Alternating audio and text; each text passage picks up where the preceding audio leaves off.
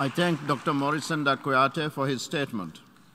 I now give the floor to the Deputy Secretary General of the United Nations, Her Excellency Amina Mohammed, to make a statement on behalf of the Secretary General.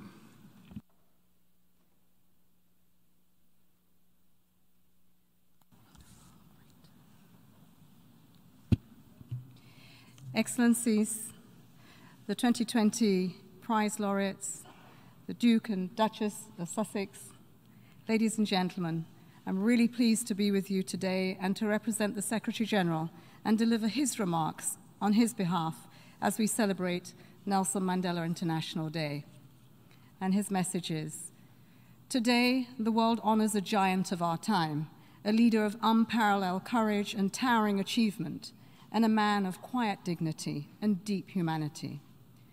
Nelson Mandela was a healer of communities and a mentor to generations. He remains a moral compass and a reference to us all. Madiba walked the path to freedom and dignity with steely determination and with compassion and love. He showed that each and every one of us has the ability and responsibility to build a better future for all. Our world today is marred by war, overwhelmed by emergencies, blighted by racism, discrimination, poverty and inequalities, and threatened by climate disaster. Let us find hope in Nelson Mandela's example and inspiration in his vision. Today and every day, let us honor Nelson Mandela's legacy by taking action, by speaking out against hate and standing up for human rights, by embracing our common humanity, rich in diversity, equal in dignity, united in solidarity. And by together making our world more just, compassionate, prosperous, and sustainable for all. Excellencies, this was the message of the Secretary General. Dear friends, what an amazing feeling it is after virtual commemorations over the past two years that we can be together in person to pay tribute in this august General Assembly Hall, the very place Madiba spoke to us after his long walk to freedom. On a personal note, Madiba has been an inspiration for me ever since I was a young child in Nigeria, trying to find my path.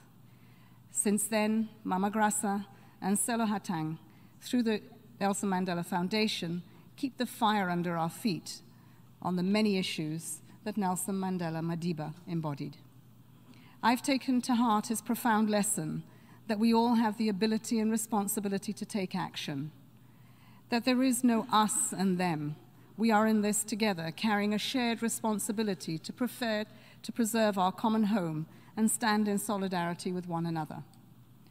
All over the world, there are people who follow in Madiba's footsteps with that same stubborn optimism that defined him.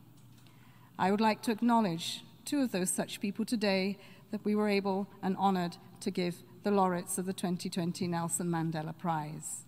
Miss Marianna Vardinoyannis of Greece, and her decades long fight against childhood cancer, and Dr. Morissanda Kouyaté of Guinea for his quest to end female genital mutil mutilation. COVID restrictions have not allowed one of our, uh, one of our colleagues to, to travel to New York, but we're really pleased to hear the statement of Morissanda Kouyaté today, and we congratulate you both. The Nelson Mandela Prize is guided by the purpose and principles of our United Nations and the promise of the ideals that were championed by Madiba. We work towards this vision of peace, dignity, equality on a healthy planet, every day, everywhere, ensuring that we leave no one behind.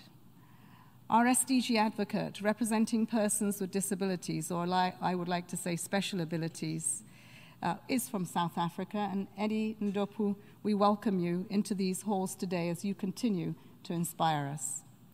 Our best tribute to Madiba is to realize the promise of the Sustainable Development Goals, to stand in solidarity against hate, and to work for peace and prosperity and human rights for all on Mandela Day and every day.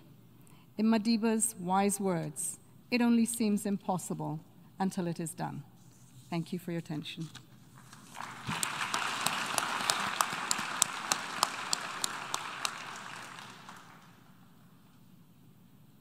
I thank the Deputy Secretary General for her statement.